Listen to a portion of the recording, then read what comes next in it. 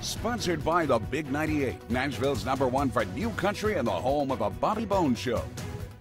It's an honor to have on the Rock and Review New York Times bestselling author, actor, and filmmaker, Turk Pipkin. Thanks, Turk, for coming on the show. Yay! The crowd goes crazy. Yay! Hey! We got to talk about this new book that you just did with uh, your friend Willie, Willie Nelson's Letters to America. And uh, what a great read with this book. Copies. Thank you.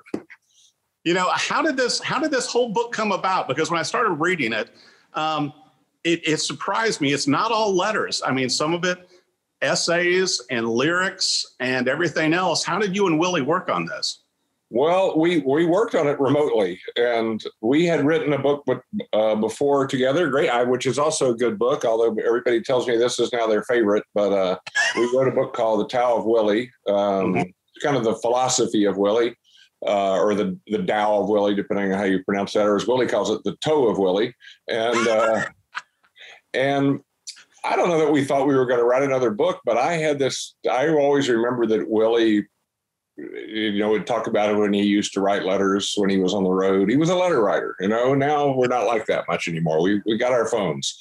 But when the pandemic started and shut down, I I just was really taken with this idea, and I went back to Willie. We started talking about it, and and I said, "It's the kind of the original idea was letters to America." At one point, we were talking about calling it "Yesterday's Wine" because the "Yesterday's Wine" album of Willie's is was such a, a kind of game changer people think back to his albums that came out a couple of years later than that, and um, like Phases and Stages, and and uh, as the story albums. But yesterday's Wine was a great one, and Willie wanted to use some of those songs. But as we started writing letters to people Willie loved, and one thing and another, and passing drafts back and forth and notes we realized, well, we need letters and songs. And then you need stories to introduce the letters because if you write Dear Mama and Papa, you, you need to know who Willie's grandparents were and that they raised him.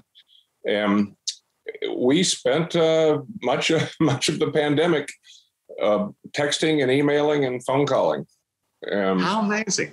Well, you know, we, some of the, the only time we saw each other the whole time was when we finished the book and we had our our noted manuscripts printed and we met uh, Annie and Willie and Christy and I. Christy's my wife. We met in the parking lot, lot at Target on the west side of Austin, and about a 40 mile an hour breeze, and we threw the manuscripts from window to window. Things were still pretty shut down, pretty tight then. You don't want to be the person that makes Willie Nelson sick, believe me. And um, we literally sat there in the cars and shot the breeze in the parking lot, and that was a that's the closest we got together.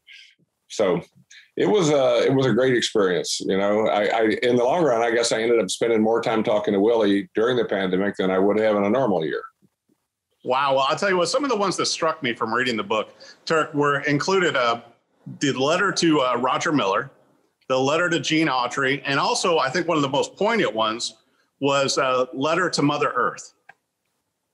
Well, those are all all favorites of mine, but I I realize that I guess they're all favorites to Willie and me, or they wouldn't be in there. But uh, Roger, obviously, great Nashville American legend, one of the funniest guys who ever lived, and Willie and Roger uh, were very close, and you know, get to be Willie's age. I'm 20 years behind Willie. I'm not no spring chicken myself, but you get to be 87, 88 years old now you know you've lost a lot of friends you loved and uh, i think there's there's a fair amount of that in the book um, gene autry was a you know childhood hero of willie's there's a great story in there that willie tells about gene coming to the highwayman's recording session and all four of them there you know there's chris and willie and johnny and waylon and the, all four of them gene autry was their childhood hero and um, it, you know it's those are amazing stories um, yeah, I don't, I don't know. It's, it, it goes on and on. And Mother Earth, I think, goes in with the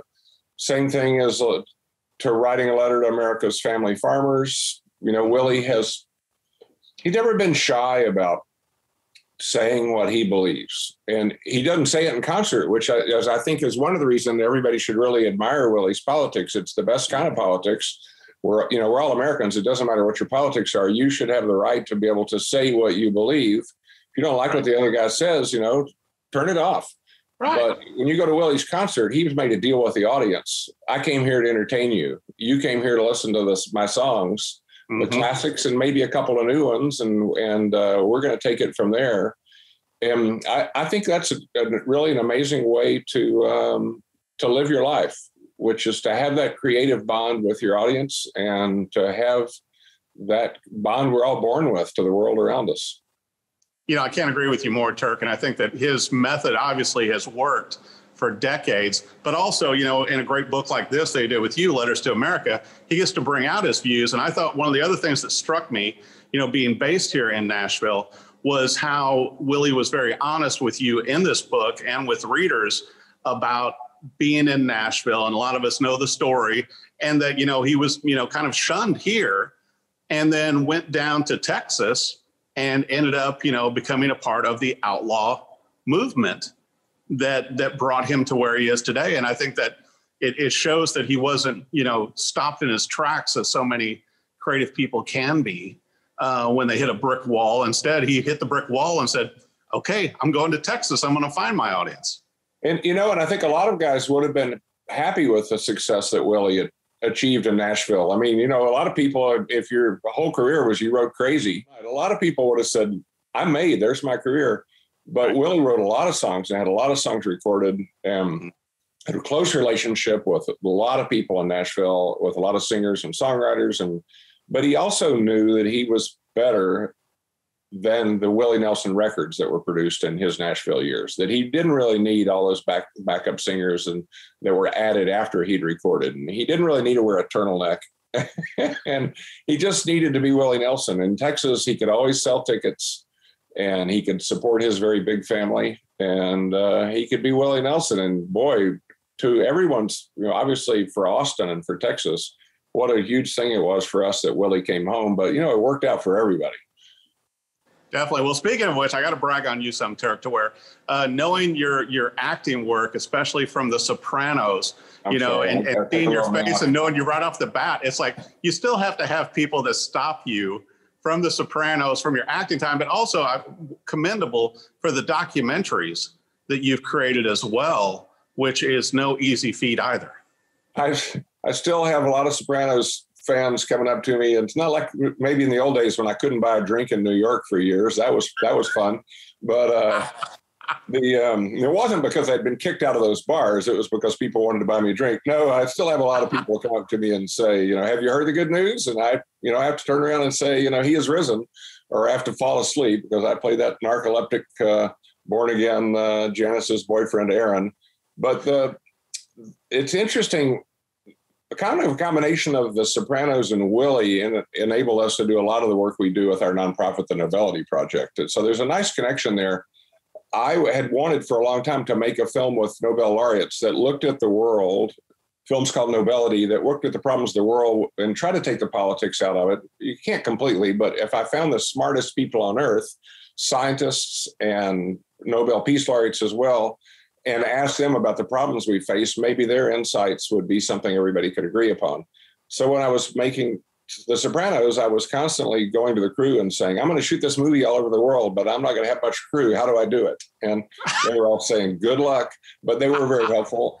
And also Willie and, and Governor Ann Richards were both early supporters of ours in, in Texas. And then when we made Nobelity, there's two more feature documentaries, uh, One Peace at a Time of Building One Peace at a Time, a fantastic interview I shot with him at Willie's Western town, Luck Texas. We play chess while I ask Willie how he makes the decisions he makes in his life, the kind of things we were talking about. You know, how, how, do you live your life? How do you, you know, why do you use, you know, sustainable biodiesel in your bus? Why do you, what's the deal with farm aid? You know, he makes all these conscious decisions. It's a really great interview, and he beats me at chess while he's saying all these wise things. but um, we funded, we've built about 50 schools, all are part of about 50 schools in Kenya. We also work in the US in American schools. All the problems in education are obviously not abroad, but uh, we've built about 50 chunks of 50 schools in, in rural Kenya. And when we were doing the first one, we needed to raise a bunch of money. And we said, how about dinner with Willie?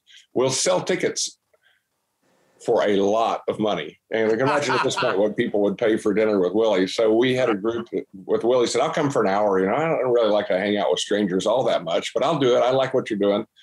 And then Willie stayed all night long. We had an incredible evening. And a year later, we wanted to do it again. We're like, who could replace Willie? And we realized, oh, we have to get every other actor and and filmmaker and writer and musician in Texas and come to one giant dinner. And so that's kind of what we've been doing over the years. We've really fallen upon the the, the largesse and generosity of Texas musicians. So the Flatlanders, uh, who have a hit album out right now, Joe Ely, Jimmy Gilmore, and Butch Hancock, they've been big supporters, and Kris Kristofferson, and we've we, have we have had it really. It's been a long run and pretty good. Well, and I think that's what's so incredible too, Turk. That not only did you have this brilliant idea with the documentary and eventually the two other documentaries, but then you put it into action, and what you've achieved you know, with with the libraries, with the schools, and all these things you've done, you you've made an impact. You know, with this concept about uh, interviewing, you know, the Nobel Prize winners and and well, really putting it into action. All the Nobel laureates and Willie, basically, the, of all the things I learned about these problems we face, they all still came back to the same conclusion, which is it doesn't really matter what you learn or what you say, it's really about what you do. Mm. And in Willie's interview, he says, um, you know, we know what's right or wrong. We all know what's right or wrong. Uh, you know, the question is, what do we choose to do? And and he says, he goes on to say, you have to feed the peace, and uh, that may be through education or it may be through reaching out to other people. But you know, we are we live in a more and more contentious world, both in our country and out of our country. But you know, hey, I got a lot of friends on both sides of this political divide, and we don't sit around at at night and argue about politics. We're friends. And but when we talk things over, we find ways to go, oh, yeah, I do see a little bit of what you're talking about.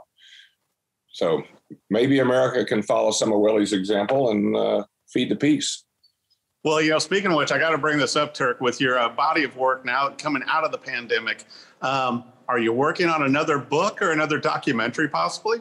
I, I'm working on, we make a lot of short films still, the Nobelity Project. We're at nobelity.org, like Nobel, N O B E L. Um, and I'm, I just got back from Kenya opening some new schools. So I'm always shooting conservation and education work. But we're rather than making features, attention spans have gotten shorter. So the videos, videos are the way to go. And um, the um, we a lot more people see the work and get inspired by the work, and a lot of them just get inspired not to support it to go find something that like that that they believe in, you know. Mm-hmm. But I'm writing another novel. I'm always writing. I've got a couple of uh, earlier novels that I've written that are have been optioned for screenplays in Hollywood. You know, hurry up and go slow. We'll see. Um, we I did have one made with I've actually made quite a few movies with Willie, but Willie was the star of a co-star of a movie called Angels Sing, a really great Christmas movie that was based on a novel I wrote called When Angels Sing, and you can find it on Amazon. You can look online. You can find it. it you know, it's Christmas in July. It's a great time to watch it. But Willie plays, and, and I think Harry Connick Jr. is in that one Harry too. Harry Connick right? Jr. and Connie Britton and Kris Kristofferson and Ray Benson from Asleep at the Wheel and Bruce Robison and a whole lot of uh, who's who of Texas music and country music. And Willie plays a guy named Nick who may or may not be Saint Nick. And if you're if you're making a movie and you're going to cast a guy who might be Santa, you know who's a better Saint Nick than Willie Nelson? Nobody. Yeah. and I knew when I wrote this novel, actually, and when we were getting ready to make this this movie, when I knew that Willie had always played Santa for his family. He loves putting on the suit and after a while, he didn't have to put on the white beard anymore. But uh, that's incredible. I can't wait to see what new projects you come out with and everything, Turk. And once again, the new book is out now, already a best times uh, New York Times bestseller. Uh, Willie Nelson's Letters to America, and and you co-wrote right there's your name right there, Turk. See right, right there, there on the cover. And I'm going to say, as much as I love the book, and I do love the book, the, the reviews and the feedback from people have just been amazing. But um, also Willie's like they're behind me. A couple of my favorite Willie albums. The you know the new Sinatra tribute album, My Way, is incredible. Oh, um, yes. This album over here is just uh, amazing. That's life, uh, and the new Buddy Cannon album that he did with Buddy at, out of Nashville is amazing. Willie sounds really good. And yes, we know that every once in a while somebody's saying, "Oh no, Willie's." I read Willie died. You know, and which is agony for Willie's family to keep having these rumors keep coming up. But you know, Willie, in his usual way, he wrote, "I woke up still not dead again today," and he whenever somebody says, I read Willie died, he just sings that song. And um, I just tell everybody, Willie's going on this Friday. He starts his first show of his tour in Austin at Luck.